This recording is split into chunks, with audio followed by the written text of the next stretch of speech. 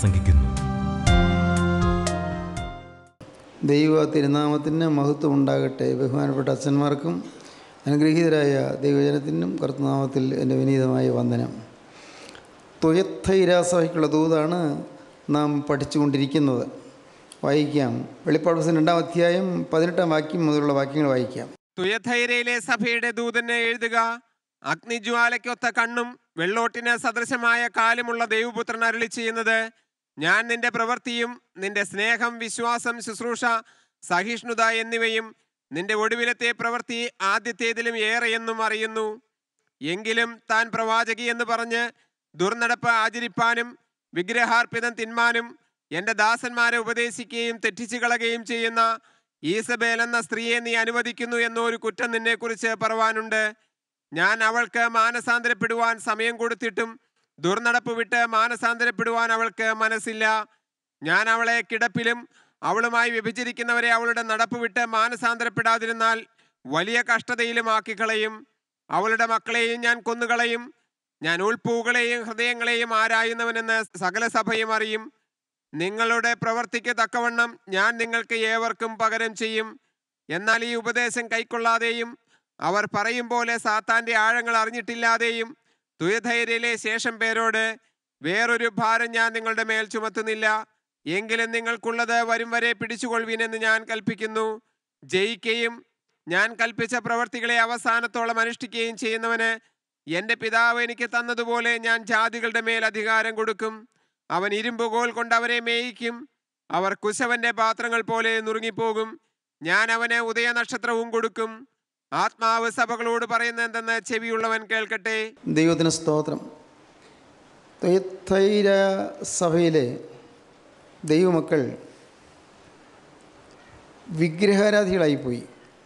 സത്യദൈവത്തെ വിട്ട് ഊമവിഗ്രഹങ്ങളിലേക്ക് അവർ അവരുടെ ആരാധന തിരിച്ചുവിട്ടു സത്യദൈവ വിശ്വാസം മാറി.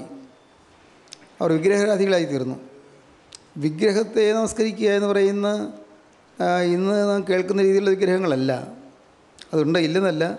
പക്ഷേ അവർക്ക് പറ്റിയ അപകടം അവർ അവരുടെ ജീവിതത്തിൽ ക്രിസ്തുവിനേക്കാൾ കൂടുതൽ ലോകത്തെ സ്നേഹിച്ചു. അനേകം വിശ്വാസികൾക്ക് പറ്റുന്ന ഒരു അപകടമാണ് ക്രിസ്തുവിനേക്കാൾ കൂടുതൽ ലോകത്തെ സ്നേഹിക്കുന്നു. ലോകം കൂടിയേ കഴിയൂ തീർച്ചയായിട്ടും വേണം. ലോകത്തിലെ പണം വേണം ലോകത്തിൽ ജീവിക്കാനുള്ള സൗകര്യം വേണം ലോകത്തിൽ നമുക്ക് കടപ്പാടം വേണം തീർച്ചയായിട്ടും വേണം. പക്ഷേ അതൊന്നുമല്ല നമ്മുടെ ലക്ഷ്യം. ലക്ഷ്യം അതല്ല. ഇത് തിരിച്ച് മനസ്സിലാക്കുന്നതിന് ഒരു വലിയൊരു പ്രകാശമാണ് വലിയൊരു കൃപയാണ്. ലോകം വിടുക എന്ന് പറഞ്ഞാൽ നാം ഈ ലോകത്തിൽ നിന്ന് ഓടിപ്പോകുക എന്നല്ല അതിന്റെ അർത്ഥം. ലോകത്തിലുള്ളതൊന്നും നമ്മൾ ബന്ധിച്ചു നിർത്താൻ പാടില്ല. നമ്മുടെ ജീവിതത്തിന്റെ ആത്യന്തികമായ ലാക്ക് ദൈവം മാത്രമായിരിക്കണം. ദൈവരാജ്യവും മാത്രമായിരിക്കണം. ലോകമയത്വം വലിയ അപകടമാണ്. തുടരെ തുടരെ ഈ ഓരോ സഭയോടും പറയും ദൂതിൽ ഇത് നമുക്ക് കാണാം എഫ് എസ് സഭയ്ക്കും പറ്റിയ ഒരു അപകടം അതാണ്. ലോകമാന്യതയ്ക്കൊത്തോണം അവർ ജീവിക്കാൻ തുടങ്ങി. അവരുടെ വിളക്ക് കിട്ടുപോയി. സ്മൃണാസഭയ്ക്ക് പറ്റിയ അപകടം ഇത് തന്നെ. പീഡകൾ വന്നപ്പോൾ അവർ ഞെരുങ്ങി. അവർ ലോകത്തിന് മുമ്പിൽ വെറുക്കപ്പെട്ടവരായി നിൽക്കാൻ അവർ ശ്രമിച്ചു. പീഡയായിരുന്നു. എങ്കിലും ഒരളവിലേ അവർക്ക് ജയിക്കാൻ പറ്റിയുള്ളൂ. ചിലർക്ക് തോൽവി പറ്റി.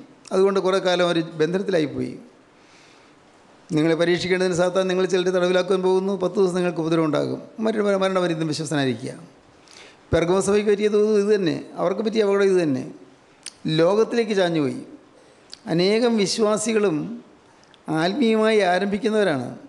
ആത്മീയമായി ആരംഭിച്ചവരാണ്. ഗലാത്യസഭയിലെ വിശ്വാസികൾ അങ്ങനെയായിരുന്നു. ഒന്നാം നൂറ്റാണ്ടിൽ ഗലാത്യസഭയിലെ വിശ്വാസികൾ അവർ നല്ല ഉണർവും ഉന്മേഷവുമുള്ള ആത്മീയത്വമുള്ളവരായിരുന്നു. എന്നാൽ അവർക്ക് ചില ചിന്താക്കുഴപ്പങ്ങൾ കടന്നുകൂടി ഒന്ന് ചില കള്ള സഹോദരന്മാർ ഉപദേശ പിശകുകളുമായി ഇടയിലേക്ക് കടന്നു വന്നു. വളരെ സൂക്ഷിക്കേണ്ടതാണ്. കള്ള സഹോദരന്മാർ കൂട്ടായ്മക്കാരാണ് പക്ഷേ അവർ വ്യാജമായിരുന്നു. അവർക്ക് ചില സ്ഥാ- സ്ഥാപിത താല്പര്യം ഉണ്ടായിരുന്നു. കള്ള സഹോദരന്മാർ നുഴഞ്ഞു വന്നു. അവരുടെ ദുരുപദേശം അവിടെ പരത്തി. ആളുകളുടെ ആത്മീയം നശിച്ച് നശിച്ചുപോയി അതുമാത്രമല്ല അവർക്ക് പാവങ്ങളിൽ നിന്നൊരു സ്വാതന്ത്ര്യം ഉണ്ടായിരുന്നു പാവത്തിനുള്ള ജയം ഉണ്ടായിരുന്നു പക്ഷേ ആ ജയജീവിതം പോയി. അവർ തോൽവി അടയാൻ തുടങ്ങി. അന്യോന്യം കടിക്കുകയും തിന്നുകളുകയും ചെയ്യുന്നു പറയുന്ന പോലെ അന്യോന്യം പരസ്പരം വൈരാഗ്യമായി കൂട്ടായ്മയ്ക്കകത്ത് ഗലത്തി സഭയ്ക്ക് പരസ്പരം കടിക്കുകയും തിന്നുകളയുകയും ചെയ്തു എന്നതുപോലെ ഗലത്തിലെ അഞ്ചാമധ്യം വായിക്കുമ്പോൾ കാണാം. പരസ്പരമുള്ള സ്നേഹമൊക്കെ പോയി. ഒരു സമയത്ത് കൂട്ടായ്മ എന്ന് പറഞ്ഞാൽ എന്തൊരു സ്നേഹമായിരുന്നു. ഗലാത്തി സഭ നല്ല സ്നേഹമുള്ള സഭയായിരുന്നു. അത്രമാത്രം സ്നേഹം ഉണ്ടായിരുന്ന സഭ. ഇന്ന് പരസ്പരം കടിക്കുകയും തിന്നുകളയുകയും ചെയ്യുന്നത് പോലത്തെ രീതിയിൽ വൈരാഗ്യമായി തീർന്നു പലരും. ആത്മാവിൽ ആരംഭിച്ചു ജഡം കൊണ്ടോ സമാപിക്കുന്നതെന്ന് കർത്താവ് ചോദിച്ചു. പോലീസിയുടെ നാവ് അതങ്ങനെയാണ് പറഞ്ഞത്. ആത്മാവിൽ നിങ്ങൾ ആരംഭിച്ചു. പരിശുദ്ധാത്മാവ് ചോദിക്കുകയാണ് ആത്മാവിൽ നിങ്ങൾ ആരംഭിച്ചു പക്ഷേ നിങ്ങൾ ജഡത്തിലോ സമാപിക്കുന്നത്? നിങ്ങൾ നന്നായി ഓടിയിരുന്നു. നല്ല ഓട്ടം ഓടിയവരാണ് പക്ഷേ ഈ നിങ്ങളെ തടുത്തത് ആരാണ്? നിങ്ങൾ നന്നായി ഓടിയിരുന്നു. സത്യം അനുസരിക്കാതിരിക്കാൻ നിങ്ങളെ തടുത്ത് കളഞ്ഞു. പിശാചി തടുത്ത് കളഞ്ഞു. നല്ല ഓട്ടമായിരുന്നു പക്ഷേ ഇത് എടുത്തു കളഞ്ഞു. ഒരു ദിവസത്തിൽ അപ്പസ്ലം പറഞ്ഞു അഞ്ചാം അധ്യായം ഒന്നാം വാക്യം സ്വാതന്ത്ര്യത്തിനായിട്ട് ക്രിസ്തുമായി സ്വതന്ത്രരാക്കി ആകയാൽ അതിൽ ഉറച്ചു നിൽപ്പീൻ അടിമനോഹത്തിൽ പിന്നെയും കുടുങ്ങിപ്പോകരുത്. എത്ര വ്യക്തമായിട്ടാണ് പറഞ്ഞത്? അടിമനോഹത്തിൽ പിന്നെയും കുടുങ്ങിപ്പോകരുത്. നിങ്ങൾ സ്വാതന്ത്ര്യം കിട്ടിയവരാണ് പാവത്തിന് ജയം കിട്ടിയവരാണ്. പാപത്തിൽ നിന്ന് മോചനം കിട്ടിയവരാണ്. പക്ഷേ നിങ്ങൾ പിന്നെയും കുടുങ്ങിപ്പോകുന്നതാണ് പാവത്തിൽ കുടുങ്ങിപ്പോകുന്നതാണ്. അടുത്ത വാക്യം പറയുന്നത് നിങ്ങൾ കൃപയിൽ നിന്ന് വീണുപോയി എന്നാണ്. കൃപയിലായിരുന്നു പക്ഷേ കൃപയിൽ നിന്ന് വീണുപോയി. ഗലത്തിൽ അഞ്ചാം അധ്യായം വായിക്കുമ്പോൾ കാണാം. ഇനി വാക്യങ്ങൾ വായിപ്പിക്കുന്നില്ലെങ്കിൽ നിങ്ങൾ പിന്നീട് വായിച്ചു നോക്കണം. ഗലാത്തി ലേഖനം മുഴുവൻ ഒന്ന് വായിക്കുന്നത് നല്ലതാണ്. ഒരുപാട് കാര്യങ്ങൾ പഠിക്കാനുണ്ട്.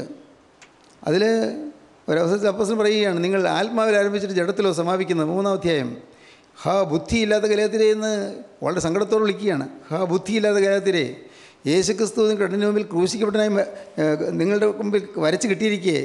നിങ്ങളെ ക്ഷുദ്രം ചെയ്ത് മയക്കിയതാര് ആരാണ്ട് നിങ്ങളെ ക്ഷുദ്രം ചെയ്ത് മയക്കിയതുപോലെ നിങ്ങൾ ബോധമില്ലാത്തവരെ പോലെ ആയല്ലോ? യേശു ക്രിസ്തു കൊണ്ട് കണ്ണ് വരച്ചു കിട്ടിയിരിക്കുകയാണ്. ഹാ ബുദ്ധിയില്ലാത്ത ഗലാത്യരെ യേശുക്രിസ്തു ക്രൂശിക്കപ്പെട്ടവനായി നിങ്ങളുടെ കണ്ണിന് മുമ്പിൽ വരച്ചു കിട്ടിയിരിക്കെ. യേശുക്രിസ്തു ക്രൂശിക്കപ്പെട്ടനായി നിങ്ങളുടെ കണ്ണിന് മുമ്പിൽ വരച്ചു കിട്ടിയിരിക്കെ. നിങ്ങളെ ക്ഷുദ്രം ചെയ്ത് മയക്കിയത് ആര്? നിങ്ങൾ ക്ഷുദ്രം ചെയ്ത് മയക്കിയതാര് നല്ലൊരു തീഷ്ണതയുള്ളവരായിരുന്നല്ലോ നിങ്ങൾ നല്ല ഉത്സാഹമുള്ളവരായിരുന്നല്ലോ നിങ്ങൾ ആത്മീയമായി നല്ല ഉന്മേഷത്തോട് നിങ്ങൾ ഓടിയവരായിരുന്നല്ലോ നന്നായി ഓടിയിരുന്നല്ലോ.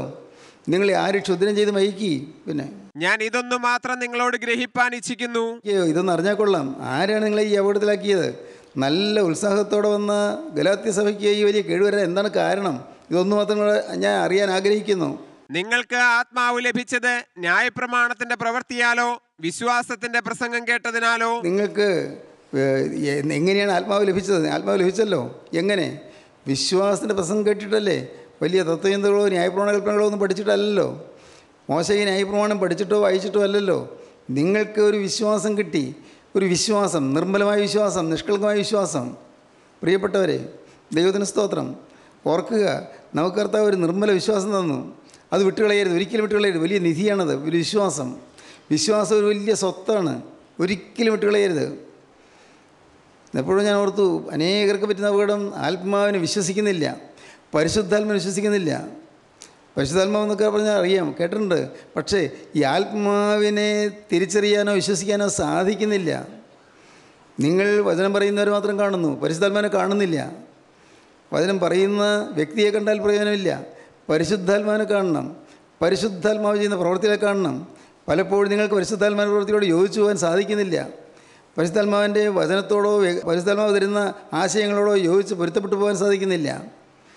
നിങ്ങൾക്ക് ആത്മാവിനെ ലഭിച്ചത് എങ്ങനെയാണ്? വിശ്വാസത്തിന് പ്രസംഗം കേട്ടപ്പോഴല്ലേ? നിങ്ങൾ ഇത്ര ബുദ്ധിയില്ലാത്തവരോ? ദൈവത്തിന് സ്തോത്രം. പ്രിയപ്പെട്ടവരെ അപ്പോസനം ചോദിക്കുന്ന ചോദ്യം വളരെ അർത്ഥവത്താണ്. നമ്മുടെ ജീവിതത്തിൽ നാം ഒരിക്കലും കിട്ടിയ വിശ്വാസത്തിന്റെ കണിക പോലും നഷ്ടപ്പെടാതെ സൂക്ഷിക്കണം. വളരെ സൂക്ഷിക്കണം. ഒരു വിശ്വാസം ഒരു സ്വത്താണ് നിധിയാണ്. അനേകർക്കും ആ ഒരു നിധി കിട്ടിയിട്ടുണ്ട്. ഒരുപക്ഷേ ചില ജഡത്തിന്റെ ബലഹീനത വന്നാലും സാരമില്ലെന്ന് ഞാൻ പറയും. സാരമില്ലെന്നല്ല. സാരമില്ലെന്ന് ഞാൻ പറയട്ടെ. ജഡത്തിന്റെ വലിയ ബലഹീ- ബലഹീനത ഒരു ഒരു ഏതെങ്കിലും കാര്യത്തിൽ ഒരു കടുംപിടുത്തം അല്ലെങ്കിൽ ഒരു നീരസം അല്ലെങ്കിൽ ഒരു പരിഭവം. പാവം തന്നെയാണ് പക്ഷേ നിങ്ങളുടെ ജീവിതത്തിൽ അത് പാവമായി ദൈവം കണക്കിടുകയില്ല. നിങ്ങൾക്ക് പരിശുദ്ധാത്മാവിൽ വിശ്വാസമുണ്ടെങ്കിൽ ക്രിസ്തുവിൽ ക്രിസ്തുവിന്റെ ആത്മാവിലും ക്രിസ്തുവിലും ക്രിസ്തുവിന്റെ ആത്മാവിലും ക്രിസ്തുവിന്റെ വചനത്തിലും വിശ്വാസമുണ്ടെങ്കിൽ നിങ്ങളുടെ ജീവിതത്തിലുള്ളതായ പല പാപങ്ങളും കർത്താവ് കണക്കിടുകയില്ല. അതെല്ലാം മറികടന്നു പോകും. എന്നാൽ പറ്റിയിരിക്കുന്ന അപകടം എന്താണ്? ആത്മാവിന് വിശ്വാസമില്ല. ഇല്ല ഗലാത്യ സഭയ്ക്ക് പറ്റിയ അപകടം അതാണ്. ആത്മാവിൽ വിശ്വാസമില്ലാത്തവരായി പോയി.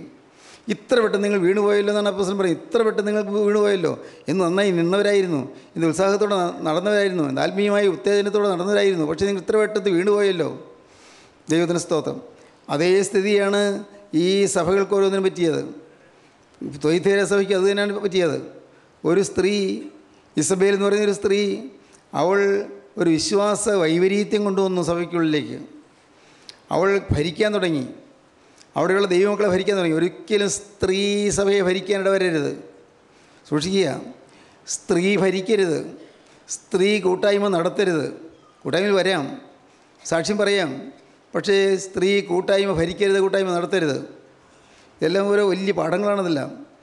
പുതിയ ശിഷ്യന്മാരരുത് പുതിയ ശിഷ്യന്മാർ ഈയിടെ വന്നവരെ പെട്ടെന്ന് നേതാക്കന്മാരാക്കി എടുക്കരുത്. അവർക്ക് അവരെ പരീക്ഷിച്ച് അവർ നിൽക്കുമോ കൊള്ളാമോ എന്ന് നോക്കിയിട്ട് വേണം അവരെ ഓരോ സ്ഥാനങ്ങളിലാക്കാൻ. പുതിയ ശിഷ്യന് വരുത് എന്ന് അപ്പോസരം പറയുന്നുണ്ട്. പുതിയ ശിഷ്യന് വരുത്. അവർക്ക് നിഗളിച്ചിട്ട് അവരുടെ ആത്മാവ് നഷ്ടപ്പെട്ടു പോകാതിരിക്കാൻ പുതിയ ശിഷ്യന് അരുത് എന്ന് പറയുന്നു. പെട്ടെന്ന് നികളും വന്ന് കയറും അവരുടെ ആത്മാവ് നശിച്ചു പോവുകയും ചെയ്യും. നല്ല ഇരുത്തം വന്നവരെ നല്ല പക്വതയുള്ളവരെ കർത്താവിന്റെ വേലയ്ക്കാക്കണം ഏത്? പുറമെയുള്ള പക്വതയല്ല വിദ്യാഭ്യാസമല്ല. ആത്മീയമായ പക്വത. ആത്മീയമായ പക്വത വേണം. ആത്മീയമായ പരിജ്ഞാനം വേണം. ഈയിടെ വന്ന ഒരാളെ പിടിച്ച് പ്രസംഗിക്കാൻ നിർത്തി. കുറച്ച് ഏതാണ്ടൊക്കെ ചെ- അന്നൊക്കെ നല്ലൊരു ഉത്സാഹമായിരുന്നു. കുറച്ച് കഴിഞ്ഞപ്പോൾ ആളെ കാണാനേ രംഗത്ത് കാണാനേ ഇല്ല. അങ്ങനെ വരരുത്. ദൈവത്തിന് സ്തോത്രം. അപ്പോൾ പോലൂസ് വേദനയോടെ സഭയെ നോക്കി പറയുകയാണ്. ഗലാത്തി സഭയെ നോക്കി പറഞ്ഞതുപോലെ തന്നെ ഇവിടെ കർത്താവ് ഇവിടെ ഈ തൊയ്ത്തര സഭയെ നോക്കി പറയുകയാണ്. സ്ത്രീ നേതൃത്വം കൊടുക്കുന്നു. ആ സ്ത്രീ അവൾ ഭരിക്കുകയാണ്. അതോ ഭരിച്ചതോ കൂടുതൽ അപകടകരമായ രീതിയിൽ. സഭയ്ക്കുള്ളിലെ ഭരണം എങ്ങനെയായിരുന്നു? ഈ ജഡീകഭാവം അശുദ്ധി വ്യഭിചാരം അത് പാവമല്ല എന്ന് അവൾ പഠിപ്പിച്ചു. ഇതൊരു ഭയാനകമായി പോയി. എത്ര ഭയാനകമായി പോയി. ശരീരം അത് ജഡം ബലഹീനമല്ലേ ജഡം ശരീരം സാധാരണ ബലഹീന ശരീരം. ജഡമോ ബലഹീനം ആത്മാവോ ഒരുക്കമുള്ളതെന്ന് കഥ പറഞ്ഞിട്ടുണ്ടല്ലോ. ആത്മാവിന് ഒരുക്കം മതി. ജഡം എങ്ങനെയും പോട്ടെ എന്ന് ചിന്തിക്കുന്നൊരു മാരകമായ ചിന്താഗതിയിലേക്ക് അവൾ പോയി. നിങ്ങൾക്ക് പറയുന്നത് നിങ്ങൾക്ക് മനസ്സിലാകുന്നുണ്ടോ? പ്രിയപ്പെട്ടവരെ ഈ ശരീരം എന്ത് ചെയ്താലും ഒരു ശരീരം നുണ പറഞ്ഞാലും അല്ല ഈ ശരീരം കൊള്ളരുതാത്ത പ്രവൃത്തി ചെയ്താലും ഏതെങ്കിലും അഴുക്കായ വാക്കുകൾ പറഞ്ഞാലും അഴുക്കായ പ്രവൃത്തി ചെയ്താലും ഒന്നും ശരീരമല്ല ചെയ്യുന്നത്? സാരമില്ല. എന്നുള്ളൊരു ഭയാനകമായ ചിന്താഗതി ഒന്നുകൂടി സഭയ്ക്കകത്ത്. അന്നത്തെ തൊയ്ത്തേര സഭയ്ക്കകത്ത് ഒന്നുകൂടി എന്തു പറ്റി? ആ സ്ത്രീ അവരെ എല്ലാവരെയും ദുർനടപ്പിലേക്ക് നയിച്ചു. പാവപ്പെട്ട വിശ്വാസികൾ ദുർനടപ്പിലേക്ക് നയിച്ചു. പ്രിയപ്പെട്ടവരെ ഇത് പറയുമ്പോൾ എന്റെ മനസ്സിൽ ചില ഓർമ്മകൾ കതിരിട്ട് വരുന്നു. വെടുതൽ ഗ്രൂപ്പ് എന്ന് പറയുന്ന പ്രസ്ഥാനം ഒരു സ്ത്രീ നടത്താൻ തുടങ്ങിയപ്പോഴേക്കും അത് വഴിതെറ്റിപ്പോയി. ഒരു സ്ത്രീ നടത്താൻ തുടങ്ങി. സ്ത്രീ നടത്താൻ തുടങ്ങിയപ്പോഴേക്കും അത് മുഴുവൻ വഴിതെറ്റിപ്പോയി. അവളുടെ കൂടെ ശിങ്കിടികളായി കുറേ പുരുഷന്മാരുണ്ടായിരുന്നു. പ്രിയപ്പെട്ടവരെ ഞാനാണ് ക്രിസ്തു എന്ന് അവൾ പറഞ്ഞു തുടങ്ങിയപ്പോൾ ഞാനാണ് ക്രിസ്തു എന്ന് അവൾ പറഞ്ഞു തുടങ്ങി. എന്താ പറയുക നിസ്സാര ഞാനാണ് ക്രിസ്തു. അവൾ കോലഞ്ചേരിക്ക് പോന്നാൽ കർത്താവ് കോലഞ്ചേരിക്ക് പോയി എന്നും അവൾ തിരുവനന്തപുരത്തെത്തിയാൽ ഇന്ന് കർത്താവ് തിരുവനന്തപുരത്ത് വരുമെന്നൊക്കെ പറഞ്ഞു തുടങ്ങി ആളുകൾ. മാരകമായ രീതിയിലേക്ക് കാര്യങ്ങൾ നീങ്ങി. ദൈവത്തിന് സ്തോത്രം. ഭാഗ്യവശാൽ ഞങ്ങൾ ഇവിടെയുള്ള കുറേ ആളുകൾ അതിൽ നിന്നെല്ലാം രക്ഷപ്പെട്ട് ഭാഗ്യവശാൽ രക്ഷപ്പെട്ടു പോന്നു. രക്ഷപ്പെട്ടു. വലിയ കെണിയായിരുന്നു അത്. വലിയ കെണിയായിരുന്നു. പ്രിയപ്പെട്ടവരെ ഞാൻ പറയട്ടെ വിസ്തരിച്ച് ഞാൻ കാര്യങ്ങളെക്കുറിച്ച് പറയുന്നില്ല പക്ഷേങ്കിലും ഒരു സ്ത്രീ നടത്തുന്ന കൂട്ടായ്മ. ഈ രീതിയിൽ ഒരിക്കലും നമ്മുടെ സഭ ചിന്നഭിന്നായി പോകരുത്. സഭ നമ്മുടെ കൂട്ടായ്മ ചിന്നഭിന്നായി പോകരുത്. ഏറ്റവും യോഗ്യമായ രീതിയിൽ വേണം ഇത് നടക്കാൻ. ഏറ്റവും യോഗ്യമായ രീതിയിൽ. സ്ത്രീകൾക്ക് സാക്ഷ്യം പറയാം സ്ത്രീകൾക്ക് പ്രബോധനം പറയാം കുഴപ്പമില്ല. സ്ത്രീകൾക്ക് വിവിധ ഭാഷകളിൽ പ്രാർത്ഥിക്കാം കുഴപ്പമില്ല. സ്ത്രീകൾക്ക് പാട്ടുപാടാം കുഴപ്പമില്ല. പക്ഷേ സ്ത്രീ പുരുഷന്റെ മേൽ കത്ത് നടത്താൻ സംഭവം പാടില്ല കർത്തൃത്വം നടത്താൻ പാടില്ല. പോലീസ് എഴുതിയ കോരിന്തിർക്ക് എഴുതിയ ഒന്നാം ലേഖനം പതിനാലാം അധ്യായത്തിൽ കാണാം. ഒന്ന് കോരിന്തിർ പതിനാലാം അധ്യായത്തിൽ സ്ത്രീ സഭയിൽ മിണ്ടാതിരിക്കട്ടെ എന്നാണ് പറയുന്നത്. അതുകൊണ്ട് സ്ത്രീ മിണ്ടാതിരിക്കുക വെച്ചാൽ സാക്ഷ്യം പറയേണ്ട എന്നല്ല. പക്ഷെ ഒരിക്കലും സ്ത്രീ വീടിന്റെയോ ഭർത്താവിന്റെയോ കർത്തൃത്വം ഏറ്റെടുക്കരുത്. ഭർത്താവിന് വിനയപ്പെട്ടിരിക്കണം ഭർത്താവിന് താണിരിക്കണം. ഭർത്താവിന് വിനയപ്പെട്ടിരിക്കണം. ഇന്ന് ഈ വാക്കുകൾ കേൾക്കുന്ന സ്ത്രീകൾ വല്ലതും ഉണ്ടല്ലോ നിങ്ങൾ എങ്ങനെയാണ് ഭർത്താവിന് കീഴ്പ്പെട്ടിരിക്കുന്നവരാണോ? നിങ്ങൾ വിനയമുള്ളവരാണോ? അതോ നിങ്ങളുടെ ഭർത്താവിനെ നിങ്ങൾ എതിർക്കുന്നവരോ ചെറുക്കുന്നവരോ ആണോ? ഭർത്താവിന് വിനയപ്പെടാൻ മനസ്സില്ലാതെ അഹങ്കരിച്ച് തന്നെ തന്നെ ഉയർത്തിക്കൊണ്ടിരിക്കുന്നവരാണോ? ഞാൻ ഇന്നയിടത്ത് നിന്ന് വന്നതാണ് ഇന്ന സ്ഥലത്ത് നിന്ന് എന്റെ അപ്പൻ ഇന്നയാളാണ് എന്റെ അപ്പന്റെ അപ്പൻ ഇന്നയാളാണ് എന്നൊക്കെ പൊങ്ങച്ച പൊങ്ങച്ച പറഞ്ഞുകൊണ്ടിരിക്കുന്നവരാണോ കുടുംബജീവിതം തകർന്നു പോകും. ഭർത്താവിന് വിനയപ്പെടുക എപ്പോഴും ഓർക്കുക. ഭാര്യ ഭർത്താവിന് കീഴ്പ്പെടുക. ഭാര്യ ഭർത്താവിനെ അനുസരിക്കുക. ഭാര്യ ഭർത്താവിനെ ഭയപ്പെടുക. വേദപുസ്തകം പറയുന്നത് എങ്ങനെയാണ്? മൂന്ന് കാര്യങ്ങൾ. ഭാര്യ ഭർത്താവിന് കീഴ്പ്പെടുക. ഭാര്യ ഭർത്താവിനെ അനുസരിക്കുക. ഭാര്യ ഭർത്താവിനെ ഭയപ്പെടുക. ഭർത്താവോ? ഭർത്താവ് ഭാര്യയെ സ്നേഹിക്കുക. ഭർത്താവ് ഭാര്യയ്ക്ക് വേണ്ടി കരുതുക. ഭർത്താവ് ഭാര്യയെ ബഹുമാനിക്കുക. പല പുരുഷന്മാർക്കും പറ്റുന്നത് അവിടെയാണ്. ബഹുമാനമില്ല. ഭാര്യ എന്നേക്കാൾ എത്രയോ താണവൾ ആ ഒരു ചിന്താഗതിയാണ്. തെറ്റാണത്. ഭാര്യയെ തന്നെ പോലെ തന്നെയോ ബെറ്റർ ഹാഫായിട്ട് കണ്ടുകൊള്ളണം. ബെറ്റർ ഹാഫ് നേർപകുതിയാണെങ്കിൽ ബെറ്റർ ഹാഫാണ് ഭാര്യ. ഭാര്യയ്ക്ക് ഭർത്താവ് ബെറ്റർ ഹാഫ് ഭേദപ്പെട്ട പകുതി. ദൈവദിന സ്തോത്രം. അങ്ങനെയായിരിക്കണം. അങ്ങനെ അങ്ങനെയുള്ള കുടുംബങ്ങളിൽ ഐക്യം പുലരും. ഒരു സെക്കൻഡ് ചിന്തിക്കൂ. നിങ്ങളുടെ കുടുംബത്തിൽ വാസ്തവമായ ആ ഒരു ഐക്യമുണ്ടോ? സ്നേഹത്തിന്റെ ഊഷ്മളതയുണ്ടോ? ഞാൻ പറയുന്ന വാക്കുകൾ പ്രത്യേകം ശ്രദ്ധിക്കൂ. അത് സ്നേഹത്തിന്റെ ഊഷ്മളത എന്ന് പറയുന്നത് വെറും സെക്സ് അല്ല ലൈംഗികത്വമല്ല. അതിൽ അപ്പുറത്തൊരു വലിയ ദൈവസ്നേഹമുണ്ട്. ദൈവസ്നേഹം. ഭാര്യയും ഭർത്താവും ഒരു മനസ്സ് ഒരു ഹൃദയം. തെറ്റുണ്ടെങ്കിൽ പരസ്പരം സ്നേഹത്തോടെ വിനയത്തോടെ പറഞ്ഞ് തിരുത്താം. കുഴപ്പമില്ല പറഞ്ഞു കൊടുക്കാം. കുഴപ്പമില്ല. ഭർത്താവ് തെറ്റായ ഒരു വഴിയിൽ നീങ്ങുന്നെങ്കിൽ ഭാര്യയ്ക്ക് തീർച്ചയായിട്ടും പറഞ്ഞു കൊടുക്കാം. പക്ഷേ വേറെ ആരും കേൾക്കരുത് മക്കൾ കേൾക്കരുത്. ആരും കേൾക്കാതെ രഹസ്യമായിട്ട് പറഞ്ഞു കൊടുക്കാം. ഭർത്താവ് ഭാര്യയ്ക്കും പറഞ്ഞു കൊടുക്കാം. മക്കൾ കേൾക്കെ ഭാര്യയെ വഴക്ക് പറയരുത് ഭാര്യയെ ശാസിക്കരുത്. കുടുംബം ഐക്യമായി പുലരണം നമ്മുടെ കുടുംബം ഐക്യമായി പുലരണം. അന്ന് ഈ സഭയിൽ എന്ന് പറയുന്ന സ്ത്രീ തൊയ്യത്തൈരാസഭയെ ദുഷിപ്പിച്ചു കളഞ്ഞു. സഭയെ ദുഷിപ്പിച്ചു കളഞ്ഞു. അരുതാത്തതായ ഒരു ചിന്താഗതി മനുഷ്യ ഹൃദയത്തിലേക്ക് കൊണ്ടുവന്ന് ആളുകളെ അപകടത്തിലേക്ക് കൊണ്ടുപോയി. ഒരു വിധത്തിൽ പറഞ്ഞാൽ നിക്കലാവിയർ എന്ന് പറയുന്ന നടപ്പും അതുതന്നെയായിരുന്നു അവർ ഇത് തന്നെയാണ് പറഞ്ഞത്. ജഡം നിസ്സാരമാണ്. ജഡം നിസ്സാരം. നിക്കലാവിയുടെ നടപ്പ് നീ ഭവിക്കുന്നൊരു നന്മതിനെക്കുറിച്ച് പറയാനുണ്ടെന്ന് ഫേസ് സഭയോട് പറയുന്നുണ്ടല്ലോ. ആ നിക്കലാവിയർ എന്ന് പറയുന്നത് ജഡം ബലഹീനമാണ്. ആത്മാവ് ഒരുക്കമുള്ളതായിരുന്നാൽ മതി. അതുകൊണ്ട് ശരീരം കൊണ്ട് ചെയ്യുന്ന കാര്യങ്ങൾക്കൊന്നും തെറ്റില്ല എന്ന് ചിന്തിക്കുന്ന ഒരു ചിന്താഗതി. മനുഷ്യൻ തന്റെ ഇഷ്ടപ്രകാരം അവന്റെ സ്വന്തം അഭിപ്രായപ്രകാരം ആശയങ്ങളെ വളച്ചൊടിക്കുന്നു. പ്രിയപ്പെട്ടവരെ ഇങ്ങിതെല്ലാമുള്ള ഈ ലോക ജീവിതത്തിൽ നാം തെറ്റിലേക്ക് പോകാൻ നമ്മെ തന്നെ സൂക്ഷിക്കണം. അപകടത്തിലേക്ക് നീങ്ങരുത്. നാം ദൈവം കൃപ ചെയ്ത് ഒരു അനുഗ്രഹിക്കപ്പെട്ട കൂട്ടമാണ്. ഭാഗ്യശാലികളാണ്. ദൈവത്തിന്റെ വചനം പഠിക്കുന്നവരും കേൾക്കുന്നവരും കേൾപ്പിക്കുന്നവരുമാണ്. നമുക്ക് തീർച്ചയായിട്ടും വലിയ ഉത്തരവാദിത്വമുണ്ട്. നമ്മുടെ കൂടെയുള്ള ഓരോരുത്തരും സത്യമായും യേശുവിനെ പിൻഗമിക്കുന്നതായിരിക്കാൻ തക്കവണ്ണം നാം വളരെ ഉത്സുകരായിരിക്കണം. ഞാൻ ഈ വചനം പറയുന്ന ഞാൻ തന്നെ സൂക്ഷിക്കണം എന്നിലേക്ക് ആരും വരരുതെന്ന്. എന്റെ അരികിലേക്ക് ആരും വരരുത് എന്നെ ആരും ആശ്രയിക്കരുത്. ഞാൻ കേവലം ഒരു ക്രിസ്തുവിന്റെ ദാസൻ എന്ന് മാത്രം. എന്റെ അടുക്കലേക്ക് വന്നാൽ നിങ്ങൾ രക്ഷപ്പെടുകയില്ല. എന്നോട് കുറച്ച് നേരം സംസാരിച്ചാൽ നിങ്ങൾ രക്ഷപ്പെടുകയില്ല. ഞാൻ പറയുന്ന വചനം കേട്ട് നിങ്ങൾ അനുസരിച്ചാൽ രക്ഷപ്പെടും. വചനം കേൾക്കണം. വചനമാണ് ജീവൻ വചനമാണ് ശക്തി. അന്നത്തെ സഭയിൽ പറ്റിയ അപകടം വചനം വിട്ടു വ്യക്തികളിലേക്ക് ആകർഷിക്കപ്പെട്ടു. ഈ സഭയിലേക്ക് ആകർഷിക്കപ്പെട്ടു. വചനം വിട്ടുപോയി. വചനത്തിൽ വേരൂന്നണം. വചനത്തിൽ വേരൂന്നണം. വചനാനുസൃതമല്ലാത്ത ദർശനങ്ങൾ പോലും അംഗീകരിക്കരുത്. വചനാനുസൃതമല്ലാത്തതായ ആത്മീയ വ്യാപാരങ്ങൾ പോലും ആത്മീയ വ്യാപാരമാണ് ധരിച്ചു പോകരുത്. എല്ലാം വചനപ്രകാരമായിരിക്കണം. നമുക്ക് കർത്താവ് തന്നിരിക്കുന്ന ഈ വചനമുണ്ടല്ലോ. ഈ ദ ഹോളി ബൈബിൾ. ഈ ബൈബിളാണ് നമ്മുടെ ആധാരം. ഇതാണ് നമ്മുടെ അടിസ്ഥാനം. ഇതിൽ പറഞ്ഞിരിക്കുന്നുണ്ടോ എന്ന് നോക്കണം. എല്ലാം നോക്കണം. ഇതിൽ പറഞ്ഞിട്ടുണ്ടോ? വചനം എന്ത് പറയുന്നു? കർത്താവ് ഇടയ്ക്കിടയ്ക്ക് പറയും തിരുവഴുത്തോ എന്ന് പറയുന്നു. അപ്പസൻ പറയും തിരുവഴുത്തോ എന്ന് പറയുന്നു. എല്ലാം തിരുവഴുത്തിലേക്ക് വിടുകയാണ് തിരുവഴുത്തിലേക്ക് വചനത്തിലേക്ക് വിടുകയാണ്. ഏതൊരു കാര്യത്തിനും വചനമുണ്ടോ അതിന്റെ പിന്നിൽ നിന്ന് ചിന്തിക്കണം. പലപ്പോഴും നമ്മുടെ പല ചെയ്തികളിലും വചനമില്ല വചനത്തിന്റെ പിൻബലമില്ല. നാം നമ്മുടെ സ്വാർത്ഥത കൊണ്ടെന്തെല്ലാമോ ചെയ്തു പോകുന്നു നമ്മുടെ സ്വന്തം ബുദ്ധിയിൽ നിന്നെന്തെല്ലാമോ പറഞ്ഞു പോകുന്നു സ്വന്തം കാഴ്ചപ്പാട് കൊണ്ട് എന്തെല്ലാമോ ചെയ്തു പോകുന്നു എന്നുള്ളതല്ലാതെ വചനാർത്ഥമായി നാം ജീവിക്കുന്നില്ല. സഹോദരങ്ങളെ നിങ്ങൾ കേൾക്കൂ. നിങ്ങൾക്ക് ജയിക്കണമെന്നുണ്ടെങ്കിൽ വചനമനുസരിക്കണം.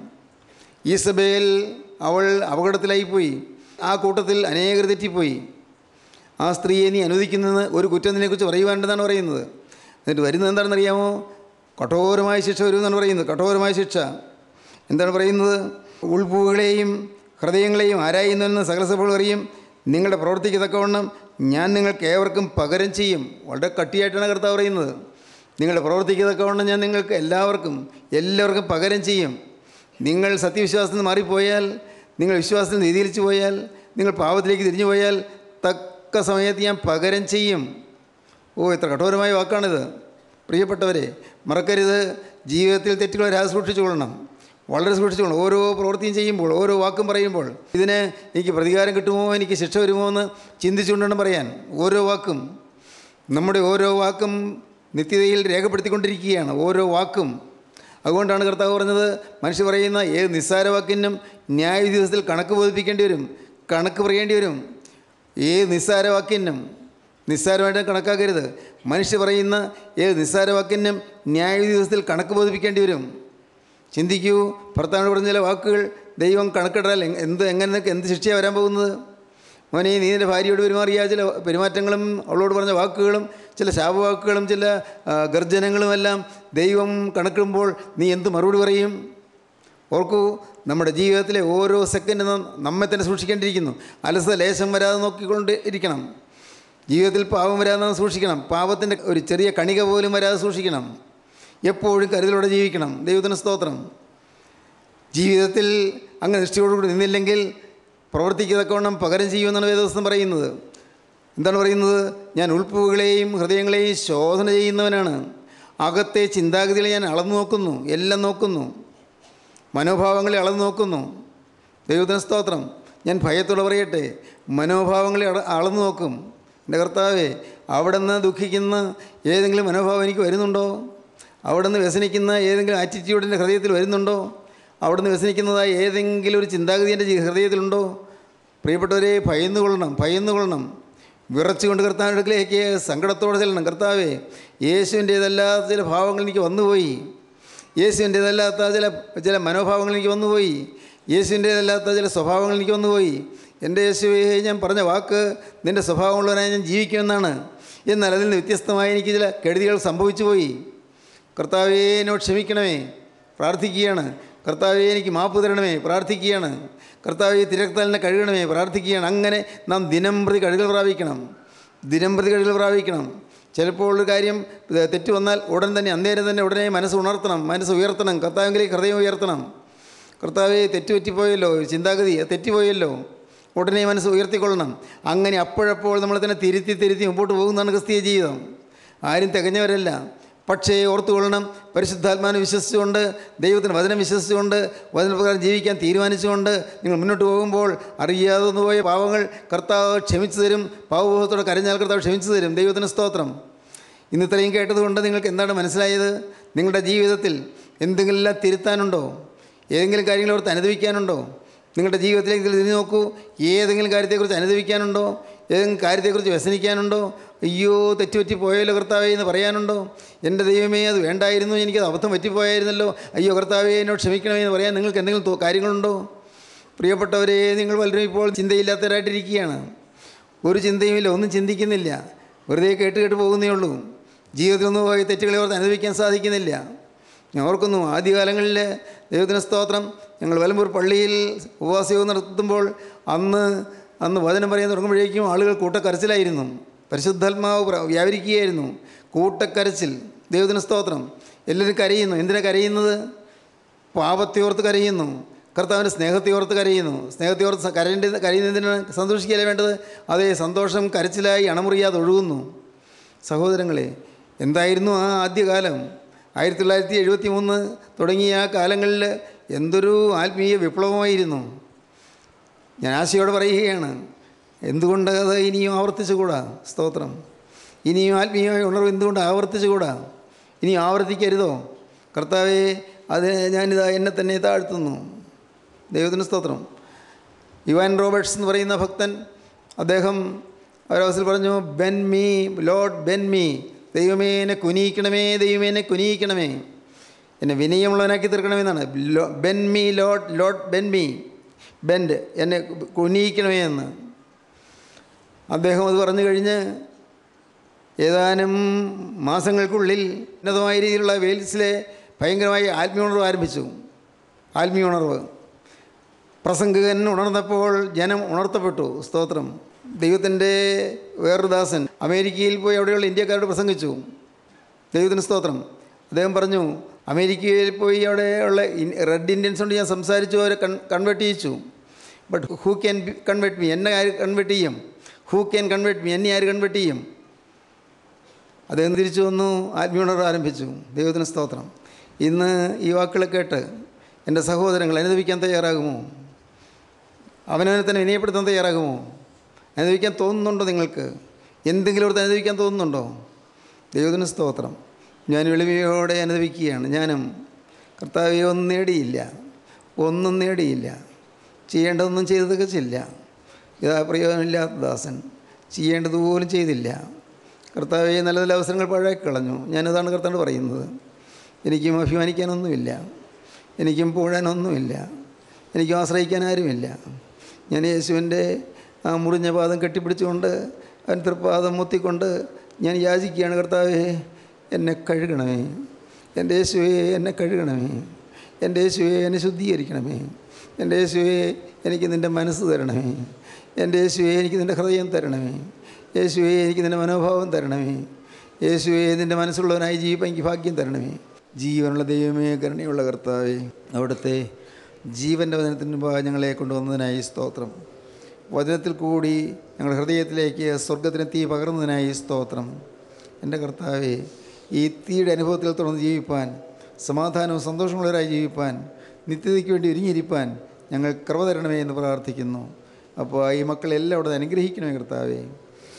നാനാവിധത്തിലുള്ളതായ പ്രശ്നങ്ങളിൽപ്പെട്ട ഉള്ളിലുന്നവർ മനസ്സ് ഭാരപ്പെട്ടിരിക്കുന്നവർ രോഗത്തിന്റെ ആകുലതയാൽ വലഞ്ഞു കഴിയുന്നവർ കർത്താവ് പ്രശ്നങ്ങൾ തട്ടിമുട്ടി വിഷമിക്കുന്നവർ പണത്തിന്റെ കെടുതിയിലും കടത്തിന്റെ ബാധ്യതയിലും കിടന്ന് പിടയുന്നവർ കർത്താവേ എല്ലാവരെയും അവിടെ നിന്ന് കാണണമേ കർത്താവേ. എല്ലാവരെയും അനുഗ്രഹിക്കണമേ കർത്താവേ. സമാധാനം നൽകണമേ യേശുവേ. അവിടെ ദിവ്യസമാധാനം ഈ മക്കളോട് വസിക്കണമേ. അത് രണ്ടാമത്തെ വരയിൽ പറന്നു വരുന്ന വിശുദ്ധമായ നിലനിൽപ്പാൻ എല്ലാവരെയും യോഗ്യരാക്കി തീർക്കണമേ. യേശു ക്രിസ്തുവിന്റെ പരിശുദ്ധമായ നാമത്തിൽ പ്രാർത്ഥിക്കുന്നു. കുറേ കേൾക്കണം പിതാവേ. ആമീൻ. ഹാലലോയ്യ ഹാലലോയ്യ ഹാലലോയ്യ